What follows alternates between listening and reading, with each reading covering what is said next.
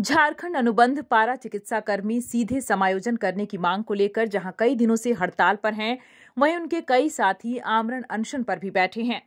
आमरण अनशन पर बैठे कर्मचारियों में चार कर्मचारियों की हालत इतनी खराब हो गई है कि उन्हें रांची के सदर अस्पताल में भर्ती कराया गया है।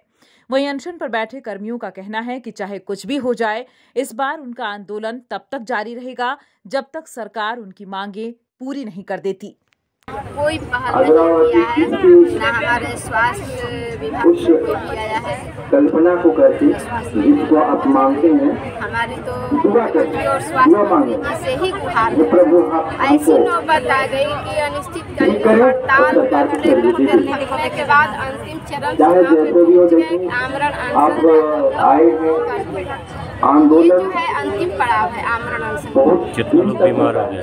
यदि अभी मेरे सरकार? नहीं लेती है तो हमारा आंदोलन होते कुछ जा है चौबीस दो साल पहले चला सभी हमारे दो साल से ऊपर आंदोलन चला। डेरा डालो और डेरा डालो एक साल से ऊपर आंदोलन चला।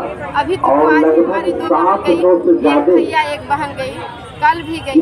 टोटल हमारे चार दिन चले पूरा करवाने के लिए और अपने ऐसी बदतर स्थिति हो। गई कि हमारे पास न उस समय चिकित्सा की व्यवस्था थी, न कोई मेडिकल टीम थी न ही कोई एंबुलेंस की व्यवस्था थी। एक एंबुलेंस भी था उसमें कोई व्यवस्था नहीं थी। सिर्फ़ दिखावे के लिए यहाँ खड़ी हो गई और एक भैया को हम लोग रिज़र्व ऑटो करके पहुँचाए हैं। न्यूज़ विंग के लिए रांची से चंदन राजपूत की रिपोर्ट। इस नए साल में भी हमारा साथ होगा। दिलों में वही विश्वास होगा। है हमारा वादा। अब बनाएँ इंडिया को मज़बूत ज़्यादा। Wish you all a very, very happy new year. Public school admission going on nursery to class 11 CCTV से लैस क्लासरूम अत्याधुनिक लाइब्रेरी और लैब की व्यवस्था.